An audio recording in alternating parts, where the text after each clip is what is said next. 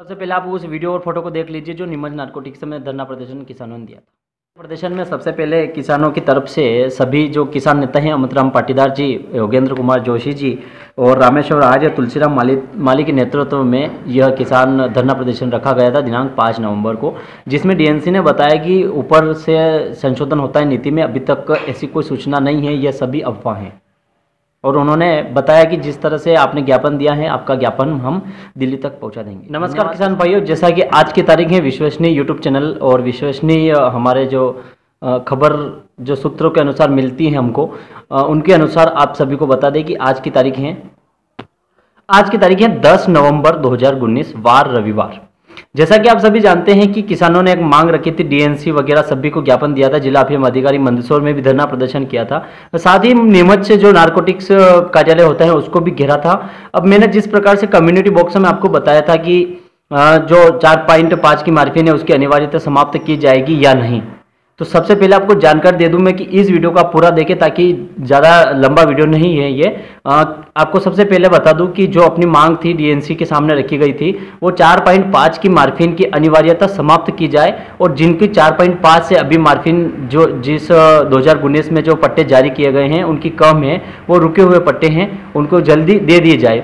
लेकिन अभी तक आपसे कहना चाहूँगा और अभी तक ऐसी कोई संभावना नहीं है कि चार पॉइंट पाँच की जो मार्फिन है उसको कम कर दी गई है या अपना जो ज्ञापन दिया था उसकी बात दिल्ली में रखी है। दिल्ली में ज़रूर रखी है ज्ञापन के माध्यम से, लेकिन आप नवंबर के दिन नारकोटिक्स विभाग जो कार्यालय होता है नीमच में, वो किसानों ने घेरा था और उसका जो ज्ञापन दिया गया था उस, वो सूचना तो वित्त मंत्रालय तक ज्ञापन के माध्यम से पहुँच चुकी है और पत्रकार साथियों को भी बहुत बहुत धन्यवाद। किसानों की तरफ़ से मैं धन्यवाद देना चाहूँगा।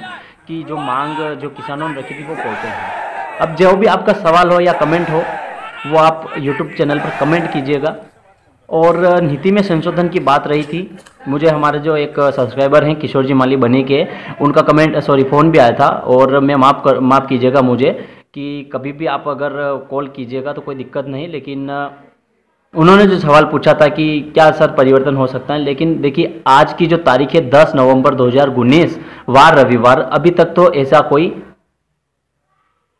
न तो खबर आई है और न नीति में संशोधन हो सकता है, ऐसी बात सूत्रों के अनुसार मिली है। धन्यवाद साथियों, आपने इस वीडियो को देखा है और हर यूट्यूब चैनल और हर प्रकार की जो जानकारी होती है, विश्वसनीय जानकारी दी जाएगी। और आप सभी के जो भी लाइसेंस अभी जो चार दशमलव पाँच की जो मार्फिन में आपके पट्टे रुके हुए हैं, ऐसी आशा करते हैं, ऐसी कामना भगवान से करते हैं और जो पूर्व में भी जिनके पट्टे कट चुके हैं, ऐसी आशा हम और करते हैं और सभी किसानों के माध्यम से कहना चाहूँगा कि जल्द से जल्द वो पट्टे वित्त मंत्रालय तक बात पहुँचे और आप सभी को। लेकिन आपको बता दूँ मैं सबसे पहले कि जो मांग रखी थी किसानों ने, वो मांग ये रखी थी कि मार्फिन का ज्ञान सबसे पहले तो किसानों को नहीं है। मतलब किस आधार पर मार्फिन तय की जाती है, उसका आधार सॉरी उसका जो मतलब कहने का मतलब ये है कि जो, उसकी औसत तय रहती हैं, वो किसानों को ज्ञान नहीं है। सबसे पहले तो ज्ञापन दिया था, उसमें जो डीएनसी के सामने मांग रखी थी, यह उस ज्ञापन में भी था। जब धरना प्रदर्शन किया गया था डीएनसी के सामने नारकोटिक्स विभाग नीमच कार्यालय में, अभी कुछ दिनों पहले आपको पता है, उसमें किसान, देखिए, सबसे पहले जो किसान नेता ने जो बात करी है किसान नेता ने जो बात करी है डीएनसी से, ज्ञापन के माध्यम से, वो प्रश्न मैं आपको बताता हूँ, किसान नेता ने कहा है, मार्फिन से पट्टे देने का आधार खत्म कर दिया गया है, क्या यह सच है?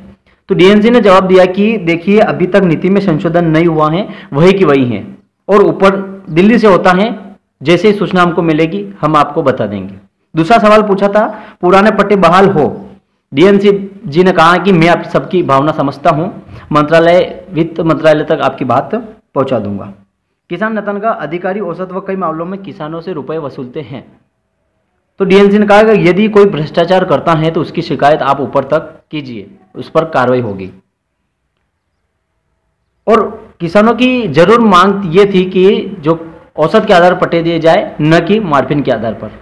और जैसा कि आप सभी को मैंने कम्युनिटी बॉक्स में बताया था कि आपको मैंने ये कहा था कि अगर ये मांग आगे तक जाएगी और अगर कुछ परिवर्तन होगा तो आपको मैं ज़रूर बताऊँगा। हमें पता है कि हमारे जो सब्सक्राइबर हैं पुष्पा प्रजापत जी हैं, किशोर जी माली हैं, और भी बहुत सारे सब्सक्राइबर हैं। मुझे पता है कि आप सभी किसान बंधु हैं, और जिन जिन के लाइसेंस हैं, अफीम के पट्टे इस वर्ष नहीं आए हैं, रुके हुए हैं, उनका कुछ बिलीव था मतलब सरकार पर कि कुछ संशोधन होगा। 10 नवंबर तक हो सकता था। लेकिन देखिए सोशल मीडिया पर जो मतलब कुछ कहते हैं कि 17 नवंबर तक होगा या 15 16 12 ऐसा कुछ नहीं है। अभी तक नीति में कोई भी संशोधन नहीं हुआ है। अगर आपने जगह खाली छोड़ रखी है तो आप वहाँ पर कुछ बोल सकते हैं। अभी तक तो ऐसी कोई संभावना नहीं है। खैर, वो आपकी इच्छा है कि आप अगर जगह खाली छोड़ रखी है आपने, कि कभी हमारा चार पॉइंट जो पाँच की मार्फिन है, कभी इसको अनिवार्यता तो समाप्त नहीं की जाएगी, लेकिन इसको इस आधार पर पट्टे दिए जा सकते हैं इससे कम के आधार पर तो वो अभी तक संशोधन नहीं हुआ है। ये सबसे पहली बात तो ये आपको बता दी। और सबसे पहले कि जो किसानों ने मांगे रखी थी, वो मैं आपको बताना चाहूँगा।